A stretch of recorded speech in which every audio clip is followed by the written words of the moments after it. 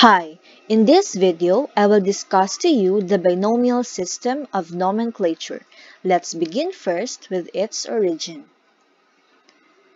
Nomenclature comes from two Latin words, nomen, which means name, and clare means call.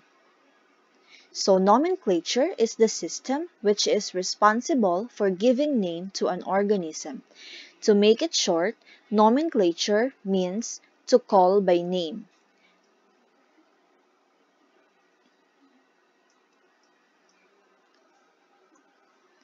As common names are not authentic and cannot be used for scientific purposes because these names change from language to language, Carolus Linnaeus in 1758 proposed the system of naming to each organism which is now called as the binomial system of nomenclature, which means the reason why Carolus Linnaeus proposed the binomial system of nomenclature is because the common names of organism cannot be used for scientific purposes. It cannot be used for scientific purposes because common names of organism is different from one place to another depending on the language of that specific place. So the binomial system of nomenclature is the naming system we are still using today. Organisms were named and their name consists of two parts. Example is the scientific name of rice, which is the Oryza sativa. So the first part of the name indicates the genus and the second part of the name indicates the species from which the organism belong and is also known as the specific epithet. So in the scientific name of rice, which is the Oryza sativa, Oryza is the genus and the specific epithet is the sativa. So let's proceed with the rules in naming organism. The first letter of the genus should always start with capital letter. The species name is always written in small letter, and both parts of the name should be italicized in print and underlined when handwritten. Example is shown below.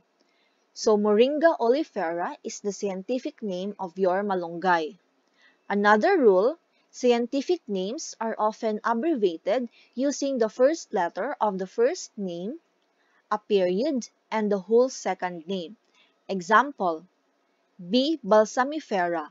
So it is the scientific name of your sambong, Blumea balsamifera. Next is the essential requirements in naming organism. So there are three most important requisites which should be in mind before giving any name to organism. It should be unique, universal, and stable. When you say unique, the scientific name should be unique and individual. It must be the only name within that nomenclature. Next, universal. The scientific name should be universal and acceptable throughout the world and biological societies. Ordinary names cannot be used in nomenclature because it is very difficult for taxonomists to learn names in ordinary language. As I said earlier, ordinary names are not encouraged to be used as scientific name because ordinary names of an organism may vary from one place to another depending on the language being used, so it will be difficult for taxonomists. Lastly is Stability. It should be stable and authentic and cannot be changeable. Scientific name is the key to information about a particular organism, therefore, even the principle of priority can be set aside by the Internal Commission, which means the scientific name of an organism may serve as a guide about the information for that specific organism. Examples of this are the following. So first, we have list of some of the commonly used specific epithet which is related to the characteristics of plant.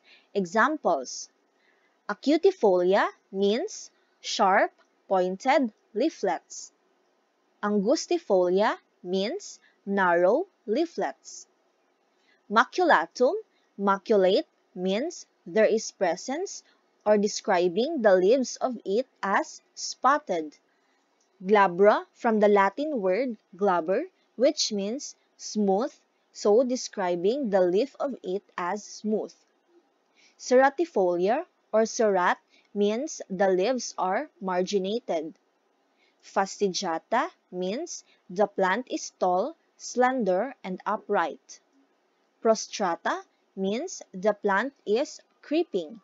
And last one, rotunda or rotundifolia means the leaves are round-shaped. Next is we have plants named according to its characteristic color. Nigrum or nigra means black. Purpurea means purple. Lutea means yellow. Alba means white. Aurea or aureo means golden. Glauca means blue tinted leaf color. Rubra means red. And tricolor means representing a three-color blend. So some aromatic plants are also named according to its properties. Fragrans and aromaticus means having a fragrant odor. We also have organisms named according to its geographical source. Zeylanicum means from Ceylon. Indica means from India. Canadensis means from Canada. And Maritima means near the coast. Some organisms are also named based on its pharmacological activity. Some of these are the following. Somniferum means this plant can induce sleeping. Vesicatorium means this plant can cause blistering. Nux vomica, this plant can induce vomiting. And purge means this plant is a purgative. Lastly, we have organisms in which their specific epithet have a general meaning. Sativum means cultivated.